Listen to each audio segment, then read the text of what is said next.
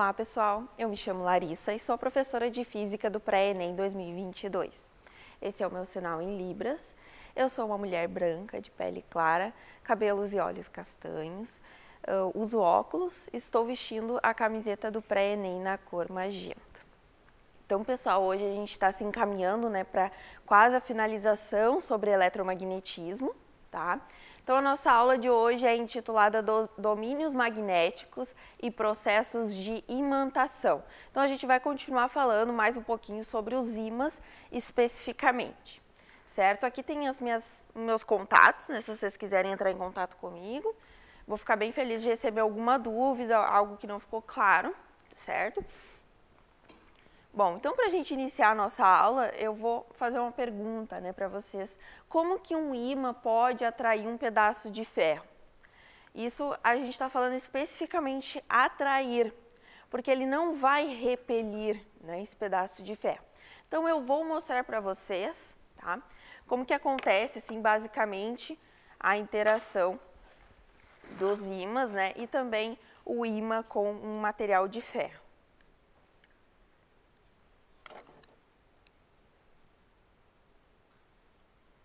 Certo? Então, aqui na minha mão eu estou segurando um imã e aqui na outra mão também é um imã, ó, vejam que ele é diferente, tá? Esses dois ímãs, eles são reutilizados, certo? De materiais, de equipamentos eletrônicos, né? Esse aqui é de um alto-falante, né? E esse aqui foi retirado de um HD de computador, ó, por isso que ele é um pouquinho diferente. Esse aqui, né, esse prateadinho, ele é bem mais forte, inclusive, do que o outro, tá? Então, ó, vamos ver o que vai acontecer se eu aproximar o imã. Ó, grudou. Ó, ele vai puxar e vai grudar. Agora, se eu virar esse imã, o que, que vai acontecer? Ó, eu virei, agora está do outro lado. Ó, vejam o que está acontecendo. O imã, ele está querendo fugir o outro imã, né? O pretinho está querendo fugir desse prateado, ó. Por quê? Porque aqui eu estou fazendo contato, então, com dois polos iguais, né? E antes, vou virar de novo, ó, Estou fazendo contato, então, com dois polos diferentes, que daí se atraem, tá? Mas e agora se eu olhar para esse potinho aqui, né? Ele tem uma tampa de, de algum material de ferro, né? Pode ser que ele tenha outros materiais também na composição dele, tá? Mas agora eu vou colocar o imã aqui. O que, que vai acontecer? Ó, grudou, né? Agora eu vou virar ele, ó. O que, que aconteceu? Grudou também. Né? Ele atraiu, foi atraído também, tanto que ele ficou aqui, né? Agora eu vou colocar esse aqui também para ver se acontece a mesma coisa, ó. Ficou preso, né? Agora eu vou tirar ele e vou virar. O que, que aconteceu? Grudou também. Tá? Então, o que, que, que, que eu quero mostrar para vocês, né? Que o imã com o imã, ele pode tanto atrair quanto repelir, porque depende uh, qual é o polo né, que vai estar tá interagindo, certo? E quando a gente tem então a interação de um ímã com algum material metálico, enfim, ele vai interagir de uma forma diferente. Ou ele vai sempre atrair, ou ele vai sempre repelir. É mais é, incomum a gente ver ele repelir, mas pode acontecer também, tá? Então, basicamente, o que, que faz né, esse processo acontecer, tá? Bom, então, para iniciar também, a gente vai tentar ver um pouquinho melhor da onde é que vem o magnetismo, né? Qual é a origem do magnetismo? Por que, que algumas coisas são magnéticas e a maioria não é magnética, né? Qual a diferença, então, em relação à eletricidade? Porque lá nas, na primeira aula, né, que a gente começou em eletromagnetismo, a gente falou sobre eletrostática e a gente conversou sobre as cargas, certo? Então a gente vai relembrar agora como que acontece, né? Como que os corpos são eletrizados. Então a gente já viu isso na nossa aula 17 de física, certo? Então a gente tem aqui um corpo neutro, tá? Ele tem a mesma quantidade de cargas positivas e negativas. Se então eu, eu passo por uma segunda situação onde eu estou perdendo elétrons, né? Então ele perdeu alguns elétrons, então esse corpo ficou positivo, carregado positivamente. Né? Depois eu tenho outro corpo neutro aqui. Então, se eu adicionar elétrons, né, o que, que vai acontecer? Ele vai ficar carregado negativamente, porque agora, então, ele tem mais elétrons do que prótons, né, do que cargas positivas, certo? Então, era assim que acontecia a nossa eletrização, né? A gente viu os processos também de eletrização. Mas e o magnetismo? Como é que acontece isso? Tá? Então a gente volta novamente para o átomo e para o elétron. Só que agora a gente vai olhar um pouco mais perto para o elétron. Né? Esse aqui é um modelo de átomo específico, né? um modelo de Schrödinger, que de 1926, né? que é o chamado modelo da nuvem atômica, da, da nuvem eletrônica, que a gente acaba vendo bastante disso na física quântica. Tá? E a gente chama nessa né, região ao redor do, do núcleo de nuvem eletrônica, que é onde então são as possibilidades desse elétron se encontrar. Então, por exemplo, mesmo que a gente tenha um átomo que tenha somente um elétron, tá? Somente um, ele vai ser representado dessa forma, porque esse elétron ele pode estar em qualquer lugar dessa nuvem eletrônica, tá? Bom, então, olhando mais especificamente para o elétron, né, algumas especificidades né, do átomo, a gente tem, por exemplo, os números quânticos. Né? Então, é uma espécie de carteira de identidade de um elétron. Tá? Então, é a maneira que temos para identificar os elétrons e descrever, então, os orbitais atômicos, para dizer, então, em qual região eles vão estar. Tá? Então, a gente tem alguns, né, são quatro números quânticos, certo? primeiro deles é o principal, depois o momento angular, depois o magnético e por último o spin. Então são quatro tipos, mas a gente vai ver melhor, né? Esse último que é o mais importante para o magnetismo, certo? Isso aqui também é visto bastante em química, mas claro, um pouco mais avançado, né? Mas para a gente entender o magnetismo, a gente precisa saber só desse último aqui, o que, que ele representa. Então, o número quântico, spin, está relacionado com o movimento de rotação dos elétrons em um orbital. Uh, veremos né, que esse orbital só pode conter no máximo dois elétrons e dois spins opostos. Né? Pode assumir então os valores de mais um meio e menos um meio. Então, basicamente, esse sinal que ele ganha aqui em relação à rotação dele, para que lado que ele está girando. Tá, mas então o que é o spin do elétron, né? Digamos então que aqui a gente tem um elétron, certo? Ele pode então girar nesse sentido ou nesse sentido. Então, dependendo do sentido que ele vai girar, ele vai se tornar então um pequeno ímã, certo? E aí, por exemplo, aqui, ó, ele está girando nesse sentido aqui, né, para a direita. Ele vai então ter um polo norte acima e um polo sul abaixo, né? Se a gente inverter, acontece a mesma coisa, né? polo sul acima e norte abaixo. Depende então do sentido de rotação desse elétron. E isso aqui que vai gerar né, uh, o magnetismo, certo? Então cada elétron se comporta como um pequeno ímã. Mas quando a gente coloca dois elétrons né, para interagir, o que, que acontece?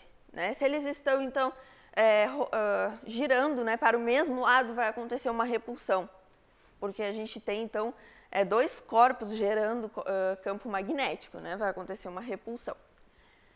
Depois, aqui, né, nesse segundo exemplo, a gente vai ter eles girando em sentidos opostos, né? Mesma coisa como se a gente tivesse um norte e um sul. Eles vão se atrair. Né? O campo magnético deles vai fazer com que eles uh, se atraiam, né? E é justamente essa interação entre os spins que vai, muitas vezes, cancelar o campo magnético desses elétrons e por isso que os materiais não apresentam né, sinais de magnetismo, mas não quer dizer que eles não tenham, né, o, cada elétron desse corpo não tem o magnetismo como uma característica intrínseca né, desse corpo. Tá? Então, é, é, importante a gente saber que o magnetismo, ele é, por exemplo, como quando a gente fala em massa, quando a gente fala em carga elétrica, ele é uma característica intrínseca, né, uma propriedade daquele corpo que ele pode ter ou não. Mas se a gente olhar para os elétrons especificamente, ele vai sim estar lá. Né? O que acontece é que muitos corpos vão então se anular, né? não vai acontecer é, de interagir com corpos externos, né? além do átomo. Tá? Então, para a gente entender um pouquinho melhor, a gente vai falar sobre os domínios magnéticos. Então, o campo magnético gerado por um átomo de ferro individual é tão intenso que as interações entre os átomos vizinhos podem dar origem a grandes aglomerados desses átomos. Então, os domínios magnéticos. Então, são esses aglomerados de vários átomos. Lembrando que esses são átomos que são magnéticos, né? Eles têm, então, a propriedade de serem magnéticos. E eles vão se alinhando um com os outros. E aí o que, que gera, né? Essas, essas partezinhas, né? Cada partezinha, então, vai ter uma orientação magnética, tá? Então, cada domínio magnético é formado por bilhões de átomos alinhados. Então, os domínios, eles são microscópicos, né? E existem muitos deles num cristal de ferro. Então, aqui a gente tem um exemplo, né? De como que seria é, é um, um, modelo, né? Desses domínios. Então, a gente coloca a flechinha para indicar que uh, cada domínio, né? Tem uma configuração diferente, tá? Apesar dele ser é, magnetizado, né? De ter essas propriedades magnéticas, ele vai ter algumas direções, tá? Mas, claro, isso aqui a gente está falando de um material de ferro, por exemplo, né? não totalmente imantado, né? com propriedades já de um ímã.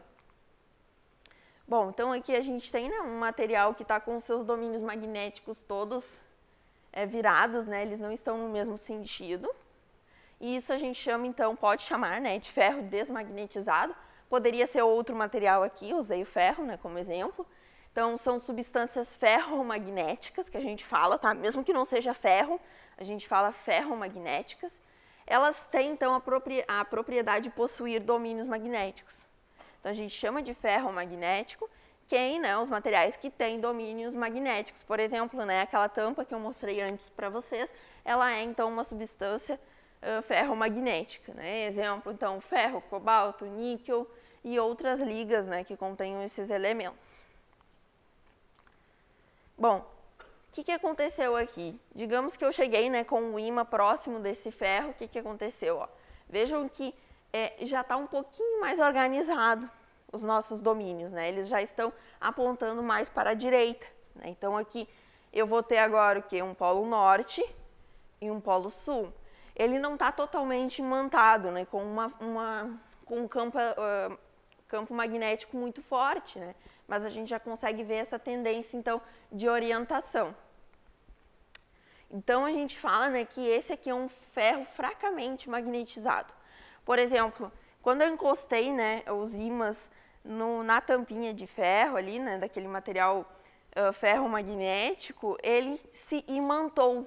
Né? Então, ele ficou uh, basicamente dessa forma aqui para obedecer a orientação daquele imã que chegou próximo dele, né, para obedecer, digamos, o campo magnético. E aqui a gente tem o ferro fortemente magnetizado. Então vejam que está bem organizadinho, né? Então uma das formas, né, que a gente consegue é, imantar, né, transformar em um ímã, é colocar então próximo de um campo magnético muito forte e ele vai acabar ficando, né, muitas vezes imantado para sempre, né, por um bom tempo, tá? Então, o que acontece né, com a tampa é que quando a gente chega com o imã próximo dela, ela vai assumir então um formato parecido né, com o do próprio imã. E por isso que ela vai sempre né, uh, obedecer, sempre atrair né, o imã. Porque né, se eu estou encostando, por exemplo, o polo sul perto de um imã, né, ele vai justamente querer o quê? Atrair o polo norte. Tá? porque ele não vai querer repelir, certo? Claro que depende dos materiais, tá? A gente já vai ver mais isso especificamente. E, né, se a gente parte um ímã em dois, acontece isso aqui que a gente já tinha visto antes, né? Ele é igualmente, então, magnetizado. Tá? Então, a gente tem as substâncias paramagnéticas, tá? A gente falou das ferromagnéticas, agora das paramagnéticas, né? imantam-se fracamente sobre a influência então de um campo magnético externo, resultando então uma força de atração muito fraca. Exemplo, o alumínio, o cromo, a platina, manganês, estanho e alguns outros materiais. Né? Então, esses materiais especificamente, eles vão ser uh, atraídos né, também por um ímã, mas com uma força um pouco mais fraca, porque eles não são tão é, eles não possuem domínios magnéticos tão bem estabelecidos, tá? E também temos as substâncias diamagnéticas, né, que interagem então com o campo magnético, hum, ah, resultando então uma fraca repulsão. Então vejam, como eu falei antes, né, ele pode tanto atrair como repelir em relação ao ímã, tá? Então esses materiais aqui, eles repelem o ímã, né? Quando a gente chegar, por exemplo, com um ímã próximo deles, eles vão tender a se afastar, né? Então, a prata, o ouro, a água, alguns outros materiais também, né? Que eu coloquei aqui o chumbo, zinco, bismuto. Então, esses são materiais né, que não querem, é, é, vai haver então essa repulsão em relação ao ímã, tá? Porque eles vão assumir, né, basicamente, o mesmo polo que eu vou estar tá aproximando né, desse material. Uh, e aí também a gente tem uh, o ponto de Curie, né? Quando a gente é, tem, então, alguns, alguns processos né, de imantação, esse é um deles, tá? Considere, então, um prego atraído por um ímã e submetido a uma fonte de calor. Então, a gente está falando aqui do prego, tá? Não é do, do ímã, mas que ele está sendo atraído pelo ímã. Então, acima de uma determinada temperatura, a agitação térmica se torna tão intensa que impede a orientação dos domínios magnéticos. Porque, como a gente já falou né, lá em termodinâmica, o que, que é a temperatura? O que, que é uma temperatura alta? Né? São a agitação dessas moléculas. Então, esse material começa a ficar tão agitado que ele não vai conseguir mais né, ter o, o seu domínio magnético, ele vai perder o domínio magnético dele e ele vai então deixar né, de ter essas propriedades ferromagnéticas. Né? Então, nessas condições, o ferro ele vai deixar né, de ser atraído pelo ímã, tá? o ímã ele vai continuar igual, porque aqui a gente está falando do prego, né? E a temperatura né, é dessa, dessa perda né, de magnetização é o ponto de Curie que a gente fala. Então, essa, essa temperatura, né, para acontecer isso, ela é específica para cada material. Então, depende do material que eu vou estar tá uh, fazendo isso, né? Então, é aproximadamente 770 graus Celsius para o ferro. Você vê que ele vai perder, então, uh, a, a, sua propriedade ferromagnética, tá? A gente tem também aqui, né, uh, falando um pouco mais sobre o diamagnetismo e o paramagnetismo, que a gente falou, né, quando uh, acontece, então, tanto de atrair e de repelir, né, então, experiências comprovam que os átomos de hidrogênio com um elétron, tá? Isso aqui basicamente a gente vê em configuração eletrônica, né, em química, são paramagnéticos, tá? Um átomo de hidrogênio tem a seguinte configuração orbital. O que, que quer dizer isso aqui, tá? Isso quer dizer, né, como ele só tem um elétron, então ele só tem um spin, né? Então ele não tem outro spin para interagir com ele e cancelar então esse campo magnético, tá? Então ele ele é paramagnético, né? Por conta disso, ele vai ter, né, propriedades de se atrair com um ímã por conta disso. Mas claro, a gente está falando de uma uh, de um átomo isolado, certo? Então, todo átomo com o número ímpar de elétrons é paramagnético, porque eu não vou ter um outro elétron para cancelar aquele campo. Tá? Então, ele vai se tornar um material que atrai, né, que, que vai ser atraído por um campo magnético. Então, é comprovado experimentalmente também que o átomo de hélio, agora não mais o de hidrogênio, né, com dois elétrons, né, aqui de novo a configuração eletrônica, né, é diamagnético a configuração do átomo de hélio é. Então, ele tem dois elétrons agora, né? Então, vejam que eu coloquei o quê? Uma flechinha para cima e uma flechinha para baixo. Então, eu tenho um parzinho, né? Então, ele vai ser esse material, porque ele foi é, testado experimentalmente, ele vai ser diamagnético. Então, ele vai repelir né, um campo magnético. Ele não vai interagir né, com o campo magnético. Entretanto, isso é importante, né? Átomos com número par de elétrons podem ser diamagnéticos e, ou paramagnéticos. Tá? Então tem esse adendo, né? Quando o, o elétron, o, o átomo tem número ímpar, ele vai ser paramagnético. Já quando for par, pode ser qualquer um dos dois. Tá? Depende, então, uh, de outras características desse átomo, desse material. Então, como a gente falou, né, como que um ímã pode atrair um pedaço de ferro? certo? Os domínios, então, de um pedaço de ferro não magnetizado, né, isso, por exemplo, a tampa ali que eu mostrei antes, são induzidos ao alinhamento por um, campo magnético gerado por um ímã próximo. Então, ele vai se alinhar com esse campo que está próximo dele. Da mesma forma né, que os pedaços de papel, quando a gente é, falou né, sobre essa experiência lá em eletrostática, eles se atraem né, ou se repelem tá, em relação a, ao material que a gente está chegando próximo desses papéis picados. Né? Mas é diferente, né? A gente agora não consegue é, repelir, eles vão ser atraídos. Tá? Então, a razão para isso é porque quando a gente tem as cargas, né, a gente consegue induzir que um material ele seja carregado negativamente e o outro material seja carregado positivamente ou negativamente. Né? Eles têm, então, uh, polos né, de, de carga. Então, eu posso ter somente uma carga negativa ou somente uma carga positiva. Já no magnetismo, isso não pode acontecer. Né? Eu preciso ter os dois, quando eu estou falando de um ímã, eu preciso ter os dois polos. E os materiais, então, ferromagnéticos, eles vão obedecer né, esse campo magnético e geralmente vão ser atraídos. Tá?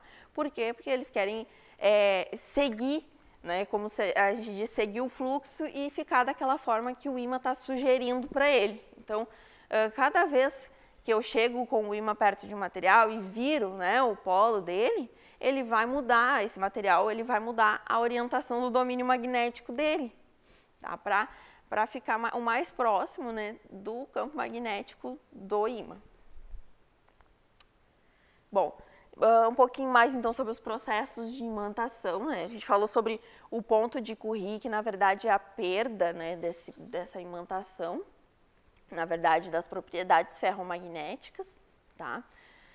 Então, a indução magnética. A indução magnética né, é a imantação por indução acontece quando um material fica exposto a um campo magnético de um ímã permanente por um determinado tempo, a ponto de ser magnetizado. Alfinetes deixados em contato com o ímã permanente adquirem a capacidade de atrair-se mutuamente, né? pois o tempo de exposição ao ímã torna-os magnetizados. Então aqui, né, até coloquei na imagem um ímã em contato com um clips, né, de papel, então, se a gente deixasse, né, por exemplo, um ímã em contato com algum material né, ferromagnético por um tempo né, e deixasse lá, ele vai então assumir o campo magnético né, desse, desse ímã, mesmo que a gente afaste, e se a gente né, testar e encostar né, uh, um clipe no outro, a gente vai sentir uma, uma fraca né, é, interação entre eles por causa desse campo magnético que foi induzido, né? E claro, né, isso aqui é só um exemplo de como que pode acontecer, né? Mas muito da, da fabricação dos ímãs é feito dessa forma, né? Onde ele vai então ser imantado, né, permanentemente. Depois a gente tem um atrito, tá? Quando determinado material é atritado a um ímã permanente, ele adquire então a propriedade magnética. É necessário que essa fricção ocorra em um sentido único. Tá? Então, uma maneira que a gente consegue construir uma bússola né, é fazendo esse processo. Se a gente tem, por exemplo, um copo de água né, e tem uma, uma agulha, a gente consegue fazer uma bússola. Né? A gente começa, então, a atritar essa bússola com um pedacinho de, de imã, né? às vezes até com uma lixinha, algum material.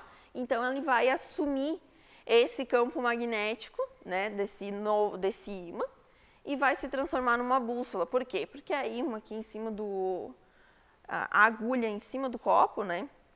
Ela vai estar tá flutuando, tá? Então, ela vai ter uma facilidade de movimentação e ela vai se orientar, né? De forma a encontrar o norte, né? E o sul, certo? Então, aqui um jeito fácil da gente fazer um, uma bússola né, caseira, assim, para testar. Tá? Daí tem que ser né, um material que seja ferromagnético, por isso que é uma agulha que está sendo usada aqui. E né, é, ela vai se orientar conforme o campo magnético terrestre.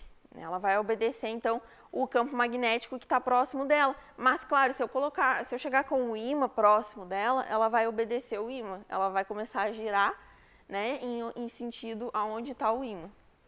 certo? Depois a gente tem ainda, né, mais um processo que é a corrente elétrica, tá?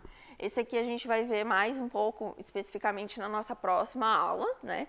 Mas então o estudo de fenômenos eletromagnéticos mostra que a carga elétrica em movimento gera um campo magnético e vice-versa, né? Que a gente já falou. Então, se um material ferromagnético, isso é importante, for enrolado então por um ímã, uh, por um fio condutor, então aqui a gente tem uma pilha, né? A corrente elétrica criará um campo magnético, né, que vai magnetizar esse material. E é importante essa configuração aqui que ele está, certo?